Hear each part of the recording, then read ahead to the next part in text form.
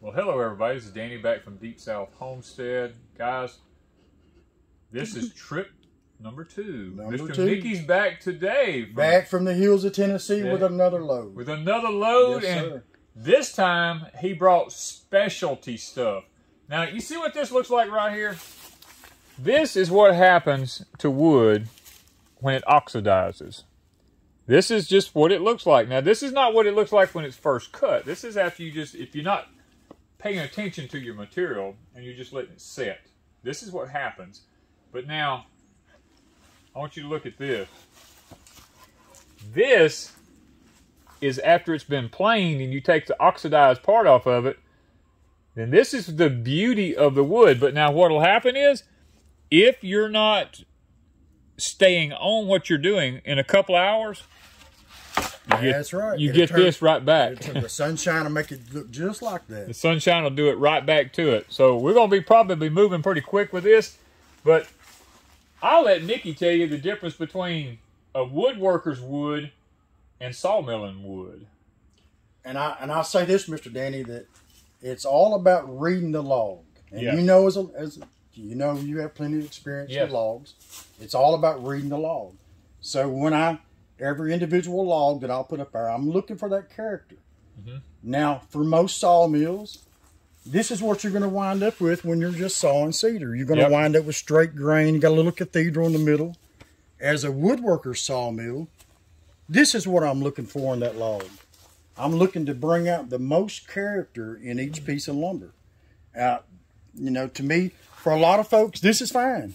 Oh, I yeah. like I like this. Yeah, I like, that's- I like the character. Yeah, when I saw that character in it there, that's that's kind of what I uh and, and here's another piece that's got a lot of character in it too right there. That's what I'm looking for when I'm trying to build a piece of furniture that that has that talks back to me. Heirloom quality. Yes, You know, heirloom Pass quality. it on down. Heirloom quality. Yes.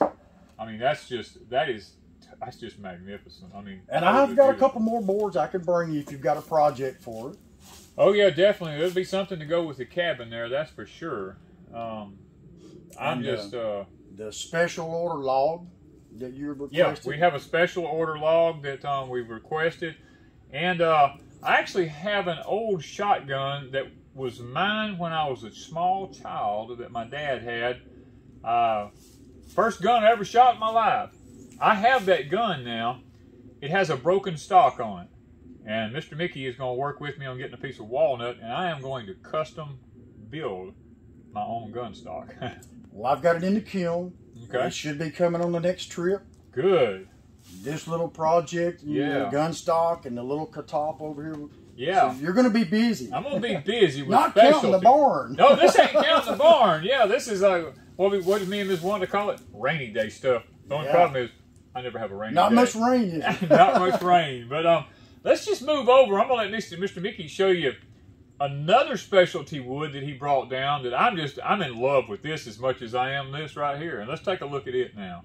So this is another example of what we were talking about, about how the proper way to put a board down is you always have your heart go down. If you're doing a floor, if you're doing a wall, you'll have the heart, which if you can see the, the circles in each board, the center of it is going to be the heart. And so you always want to keep the heart down or you want to keep the heart against the wall because you can imagine if you turn this board over, the natural cups are going to try to come away from the wall or come up from the floor. Yeah, that there's a little small.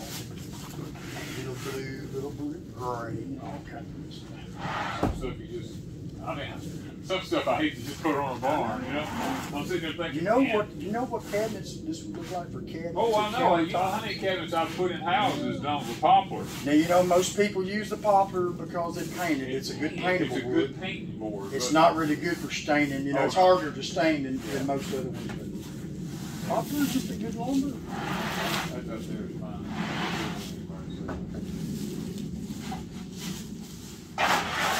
Thing about it is, will mildew on you in an hour or two. You know, uh, Doesn't take no time. take no time. This has been stocked on my truck 36 hours. And that's that's about as fast as it will start making that white fungus in between. Oh yeah. But as long as we sticker it, that stuff will disappear pretty quick.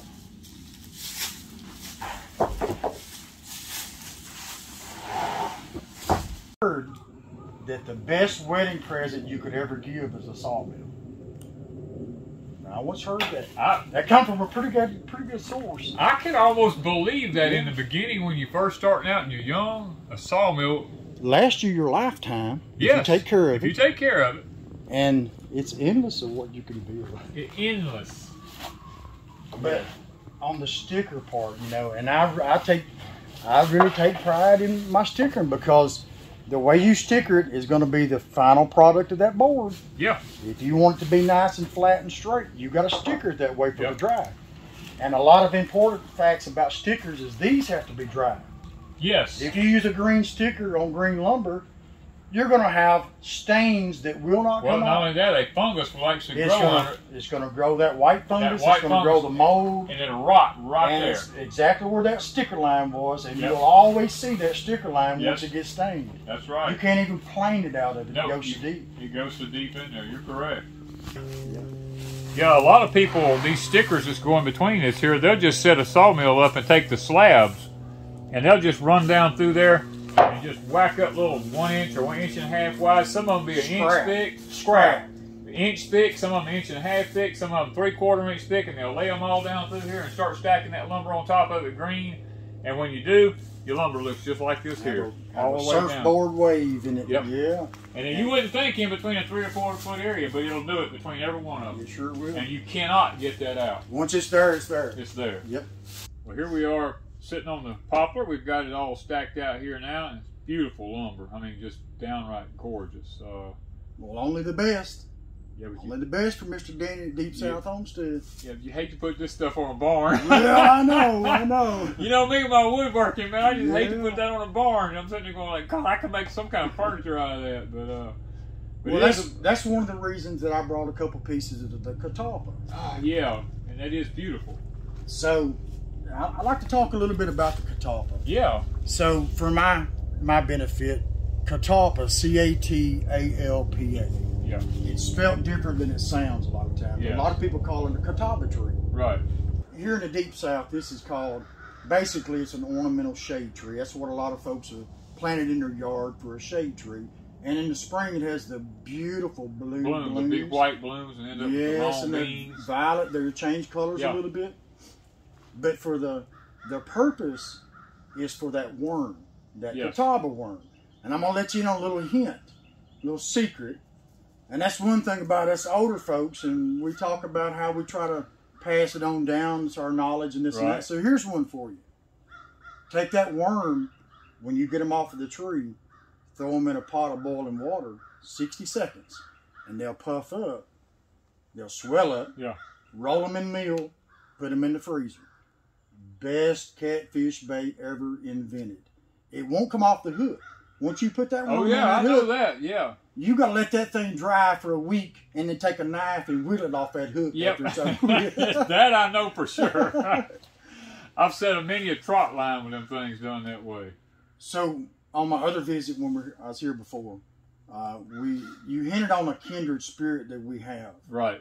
and so I think I want to expand on that just a little bit, Okay. And I want to use the catalpa for example. All right. So it is catalpa, and I spelt it, and it's uh, a lot of people call it catawba, and it's often been said for many many years that the Catawba Indian tribe named it Catawba from the Catawba Indian tribe. Mhm.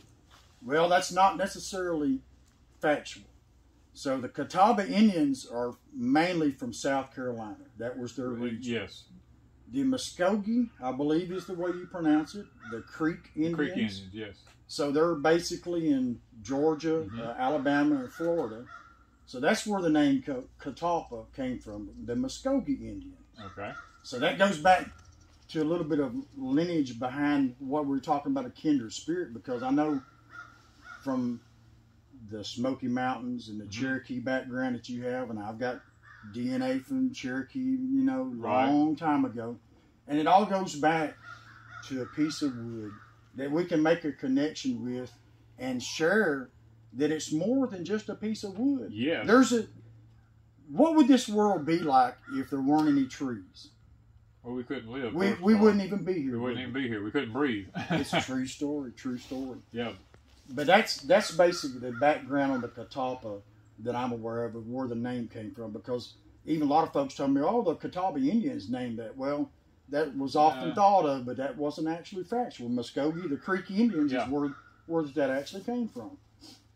Yeah, now I know as a, as a kid growing up, my father talked about working in the river swamps, where lots of timber like this growed in the river swamps to be large trees.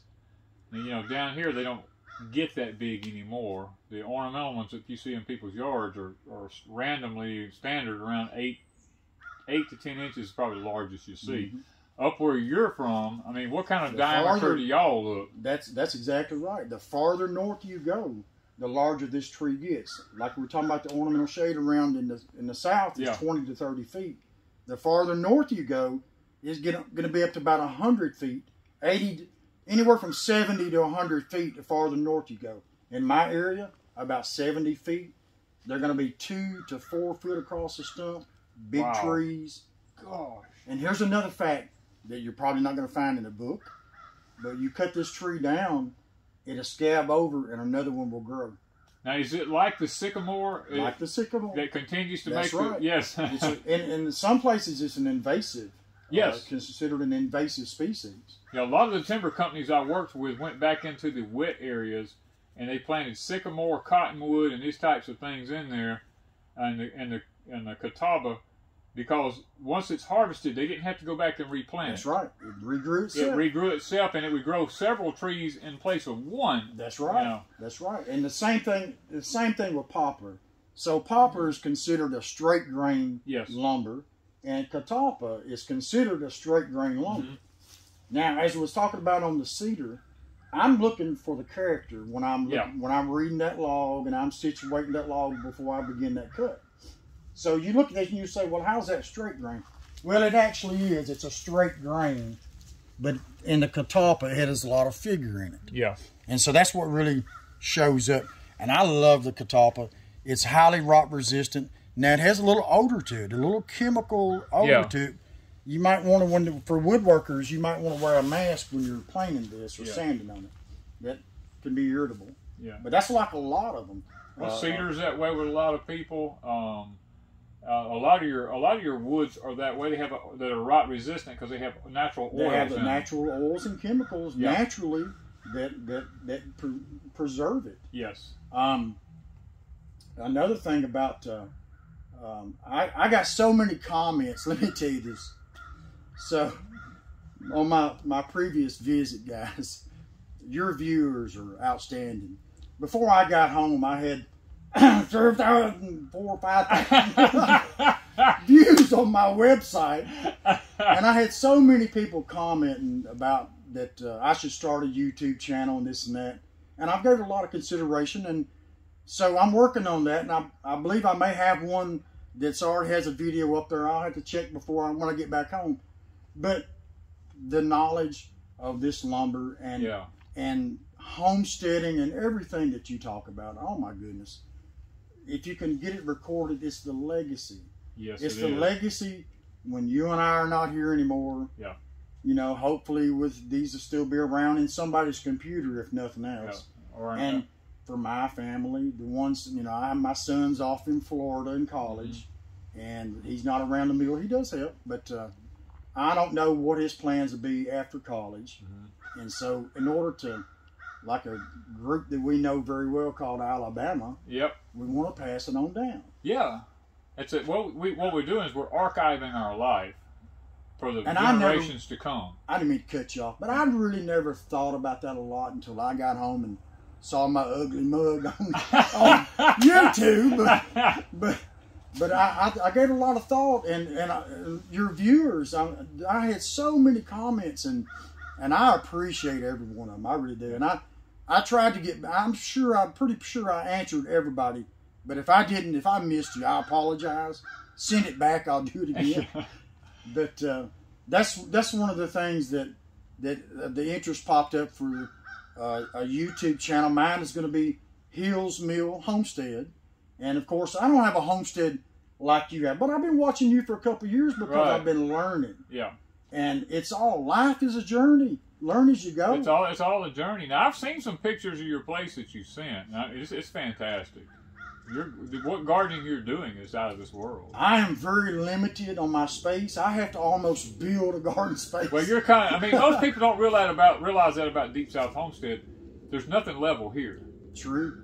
Yeah, and I'm, I'm pretty sure where you're at, it's even worse. It, it's a little worse because I, I had to just about move all the dirt to make anything level. Yeah, But it goes back to raised bed gardening. it does. I mean, my goodness. And, you know, like us, when we get a little older, it's a lot better to stay off of our knees instead of down on that ground. it's a lot better to do this right here exactly. than it is to get way down yonder. I saw your video on Miss Wanda's little greenhouse. I'll call it Miss Wanda's Yeah. greenhouse. And you were talking about building her some shelves Yes, for everything. Well, this might be something you might consider that might be to it. use in there because Yeah. it's it's going to be fine if it gets wet, and, you know, and dirty. That and is a very uh, yeah, and it's five quarter, so it's Mhm. heavy enough. It's a little thicker than than, Yep. than the, the poplar. Yeah, so that is that is That could be likely. considered for that. That is more, and it's ten foot. Yep. Well, No, no, it's this eight, is eight foot. foot. I don't need it to be ten foot. I need it to be eight foot right. because I needed a space at the end down there. I think that problem's just been solved. You're welcome, Miss Wanda. Now he has another project. now I have That's another right. project. On top of making me something out of this poplar besides a barn. yeah, Yeah, we'll, we'll try to get some more down here if we can Ah. find a few more logs, you know. it is what it is right now. But we'll There, there's something else that I'd like to, to to mention on here that came from your your subscribers Okay. that sent me so many messages, right. and a lot of them were familiar with a sawmill, and a lot of people were asking me what I did about bugs and bees and this Ah, and that. Yeah, And I think I had mentioned in, in the other video that I do spray this lumber. I spray it with a product that's human and pet safe once it's Yeah. dry.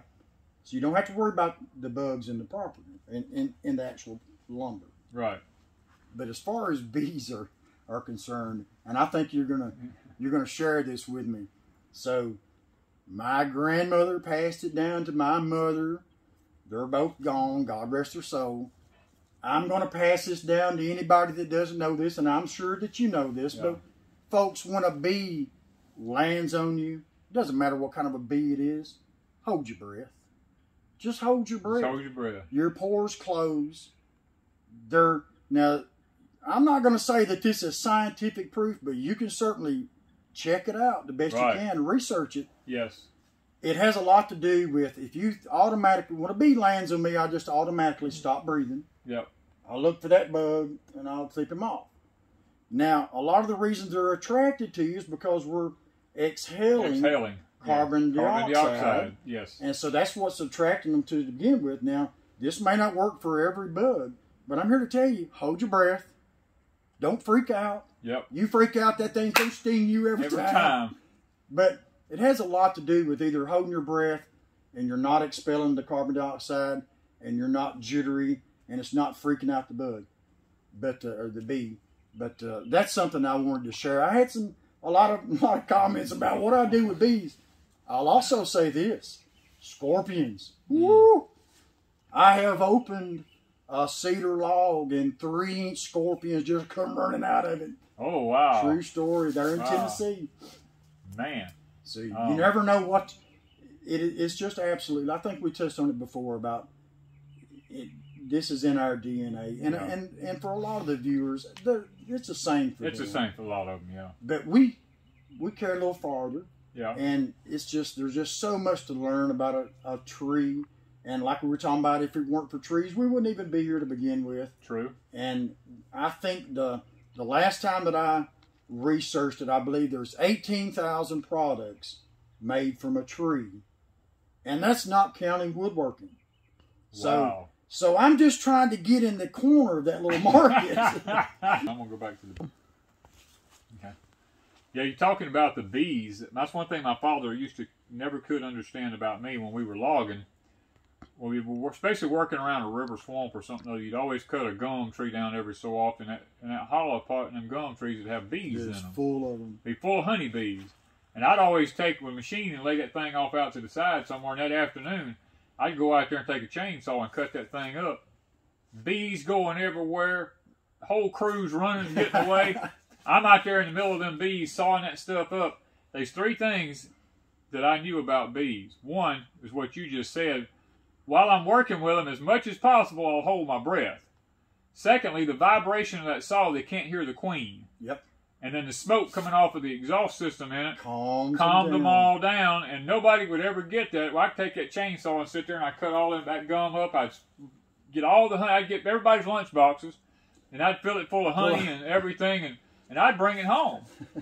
so, I mean, what you're saying about the bees is exactly true. And and another thing that, that some of the comments that, that I've received about the bees, folks, WD forty Yes. It's got so many uses This way beyond what the description Way beyond taking a loose nut loose. But if you have a wasp nest, horn well, I'm not going to say hornets. I wouldn't that's say a little. hornets, that's a little long will distance. them, It but you got to be you quick. can't get close enough to do it. Yeah. But you take WD forty and you spray a wasp, it drops. Yep. You buy the best on the market bee spray, and when you spray them, they fly away. They fly away and then they go off out there and they just the wings And if- melt or whatever happens And if you're that. if you're not lucky, they're going to fly away on you. On and you. as soon as they hit you, they'll They'll, sting you. they'll nail you. Sure Yep, will. that's just true.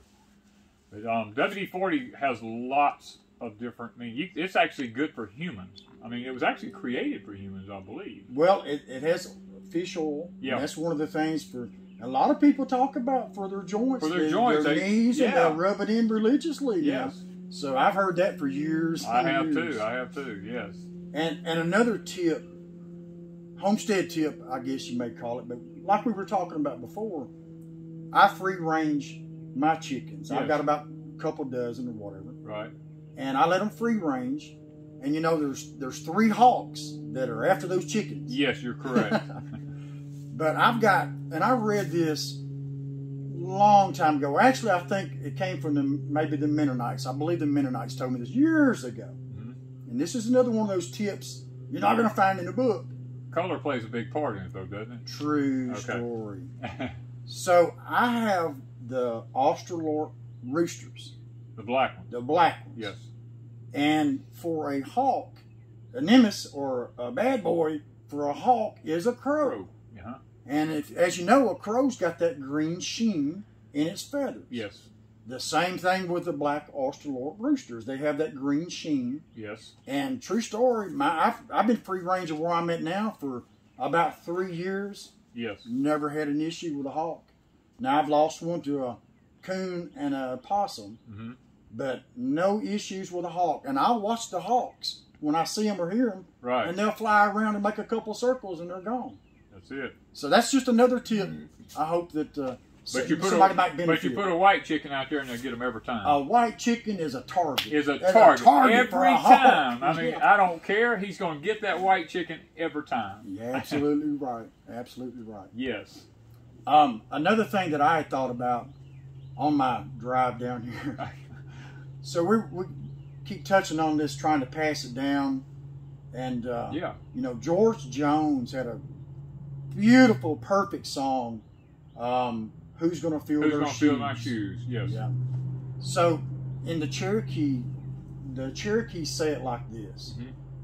that when they're trying to pass on their traditions and pass it on down, Right. that they want to keep adding a spark, and they want to continue to add a spark, and and I hope that that's what we're doing is we're adding a spark, and eventually it's going to become a flame.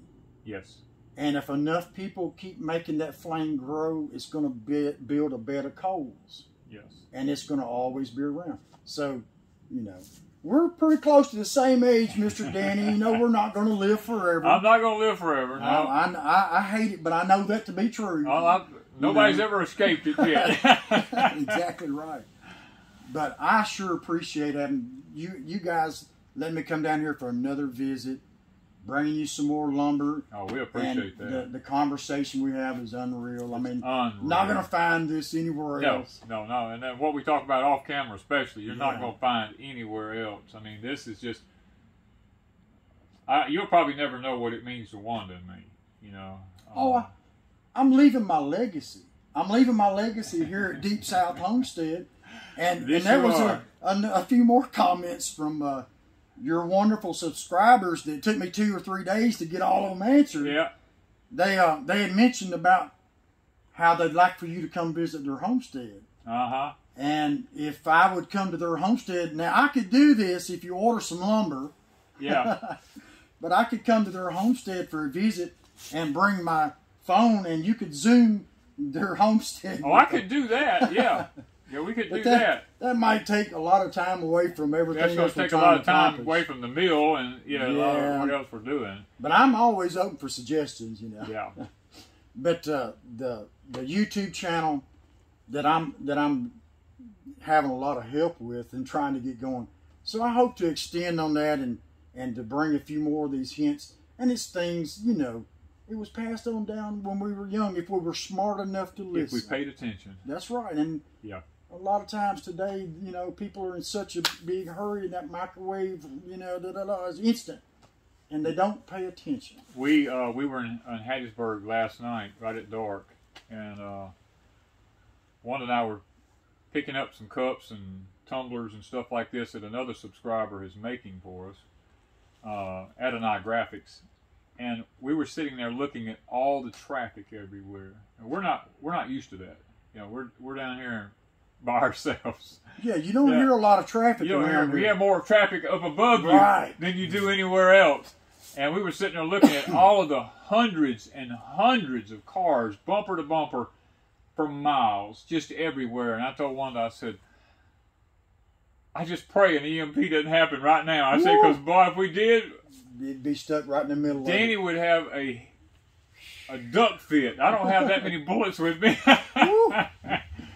It's, it's sad to have to think about that, but I you mean, better, yeah. you better think about it because you want to Yeah. be prepared if it does happen. if it does happen, yeah. If you don't think about it, you're not preparing for anything. I mean, we had blankets in the car. We always go prepared, you know, Sure. because it was cold. We had blankets and things like that, you know, candles and different things like that. But, uh, you know, the world that we live in today is just not like it used to be. Where Not- and it's never going to go back to what we, you know, No. just ten a decade ago. just a decade Yeah. ago, it's yeah, never going to go back.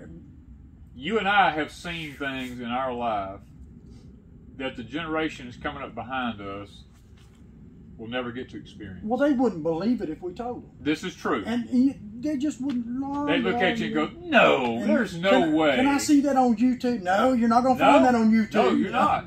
So, speaking of YouTube, and and I really appreciate you letting me on your channel. Oh, that's oh, we love and it. Yeah. and I'd like to remind folks that if you want to to send me a message, you can go to my website hillsmill.com, and now I'm entertaining the idea of a a YouTube Of a channel, channel, yes. and I've got a video up. I believe it's supposed to be up now or maybe next day or two.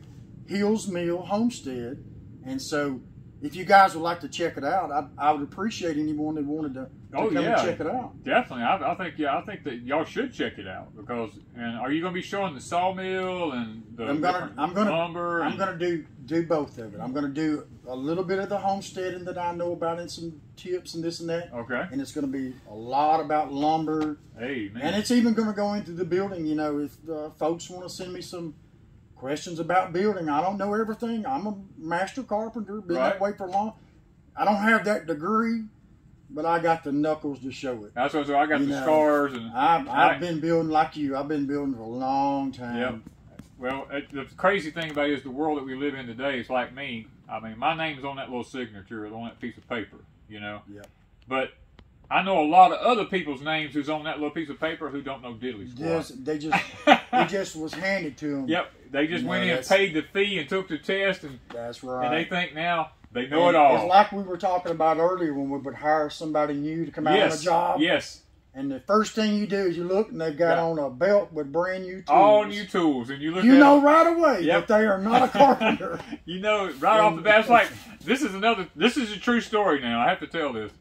When I moved to Central Mississippi, I was up amongst people up there that wore overalls everywhere. Now I've wore overalls my whole life, but they were all new people that I'd never met before. I didn't want to go in my old raggedy, old dirty overalls. So I told my wife, I said, "Give me a better pair of them overalls than one of them newer pair." And I put them on. When I got there, they started making fun of me. And they going like, "Okay, city boy." I'm like, "Wait a minute, no, your no." clothes on out there. got new overalls on like we was talking about the Yeah. new tools. Said no, no, no, no. I, I told him I said I promise you.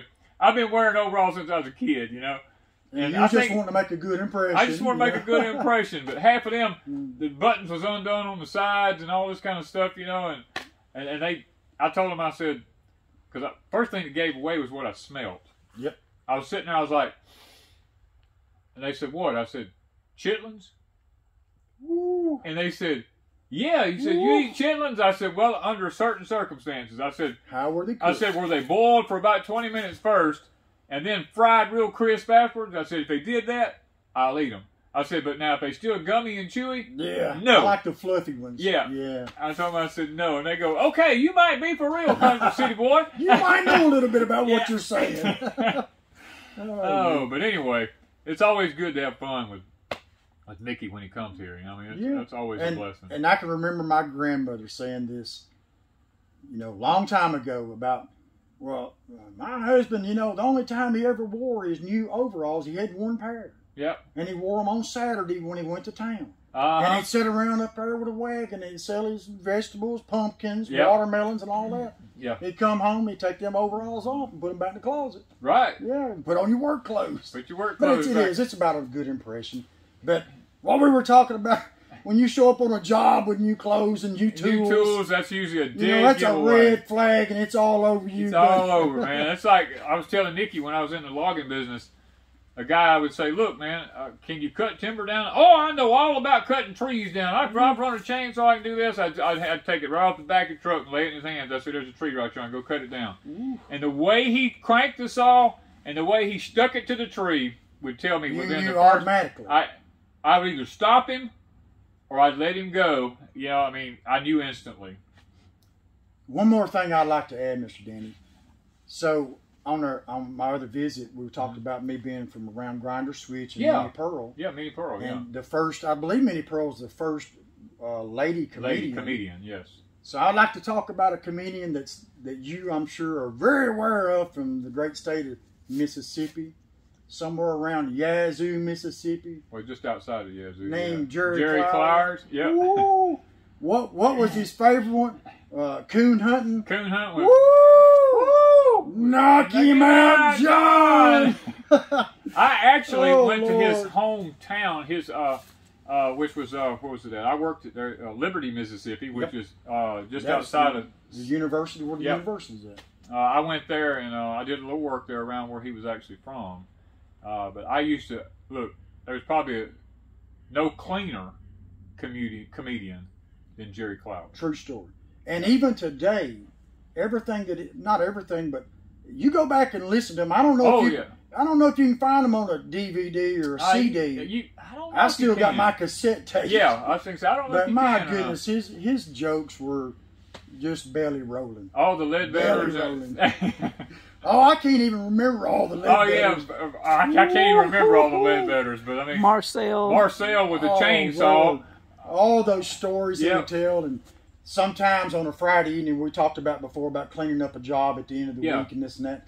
And I would I'd put in one of the Jerry Clower tapes. Yep. And I said, when this tape is off, I want it done. Yep. And everybody, you know, we just have a good time. You- Exactly. You, have to enjoy what you do. You do. You don't really want to do. make it, you know. I mean, everybody has a bad day, and you gotta, you know, you gotta compensate for that as you have to. But Yeah, that, You try to have a good time when you're working. you know? there's a certain amount of rigidity that has to happen on a job. Absolutely, But then there's that time, you know, where it's got to be it's done. just got to be done. It's got to be done, no matter Yeah. if it's raining. No, It, it it just has to be done, you know. And and and I, I guess people like Jerry Clowers we was talking about, you know, you just don't have anybody that gets into their stories.